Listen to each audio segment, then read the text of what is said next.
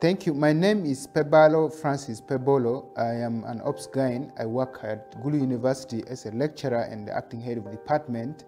I'm also the principal investigator for uh, Center for International Reproductive Health Training Project at Gulu University. This project is called Gulu University Sexual Reproductive Health Resource Center.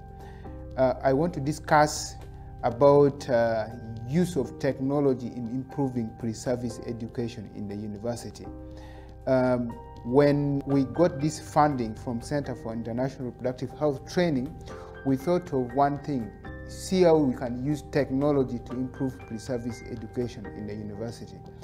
And one thing that came in our mind was to uh, establish a studio, a, a, content production studio or an audio visual uh, studio. This audio visual studio is meant to produce content. Um, these contents are in many forms that I will discuss later. Uh, in this studio, we have a number of input devices that help us to come up with the content. Uh, we have the video input devices, a number of cameras that are integrated into uh, a system. We have an audio input devices that is also integrated into the video uh, devices to come out with a, a, very good content.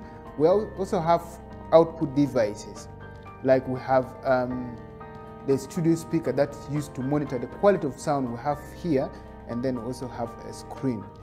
Uh, besides this, we also have good lighting system, and also to uh, enhance the quality of sound, we were able to establish a studio-like feeling by uh, doing uh, soundproofing within the system. And uh, in this studio, we produce a number of things, including lectures that we produce here. These lectures can be in terms of uh, a, a classroom-like lecture where a, a, lecturer can do uh, um, illustration or, or, teaching on whiteboards, and these things are recorded. We can also do a, PowerPoint presentation, which have come with a very clear sounds and very uh, good graphics. You can also do uh, an illustration using uh, other cameras that can help you illustrate things that you may not be able to illustrate very well using uh, the other audio-visual devices.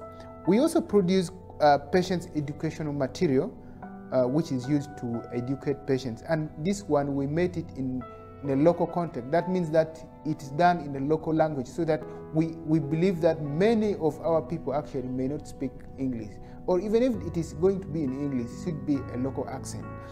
Uh, in this, we can also do live streaming. We can do podcast. We can do uh, a small teleconference um, uh, meeting for a small team. Uh, the other thing that we established in the university is a teleconference facility. Uh, this teleconference facility help us to make sure that we link uh, our people, the university, and people out there when we're meeting. And, and this actually helps a lot because you can actually have a board meeting here and a board meeting the other side, or a team meeting here and a team meeting the other side, making sure that we don't lose these very good interactive meetings that you need to have when you're doing some kind of collaborations. In this, we're able to do a number of things with these teleconference facilities we have meetings for institutional review boards, research review boards here. And then we, we do presentations, grand rounds among students and among uh, the faculties and other people out there. We're able to do that. Uh, we have also used it for a PhD defense and, and it has worked out very well. Uh, and, and then uh, we, we, we hope that in the near future, if we start our master's program, this will help our students to actually interact with the lecturers who are uh, our visiting lecturers if they may not be able to make it to Gulu or to Uganda so they can actually give uh, lectures from out. The other thing that is also very key in medical education is that through this funding we're able to uh, establish an audiovisual simulation laboratory. And we believe that this was the first simulation laboratory to be uh, established in the university and, and we are very proud of that. And this laboratory, we use a low fidelity mannequins, but it has an option of audiovisual recording. And this audiovisual recording help us in debrief, and we believe that debrief after a skill drill is very key in reinforcing our learning. Um, to also help have a uniform content uh, given to our trainees, we decided to uh, develop a, a, a, mini curriculum that is context-based. Uh, the context-based is that the curriculum that fits our setting here. And this curriculum was presented to faculty, board faculty of medicine, and they were actually able to approve that as a training tool. And, and we are proud of that.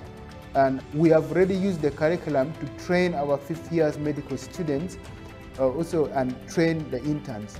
And uh, through evaluation, we realized that at the beginning of each rotation, we should be able to give the training so that the students or the interns get the skills at the beginning and throughout their rotation, they are able to actually uh, uh, practice the skills and reinforce it, and that will be part of their life.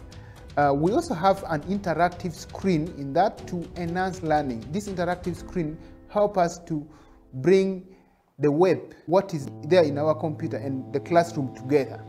So that means that you can actually pick something from YouTube and annotate it within the class and also pick something which was maybe stored in your hard disk in the computer and illustrate it straight away.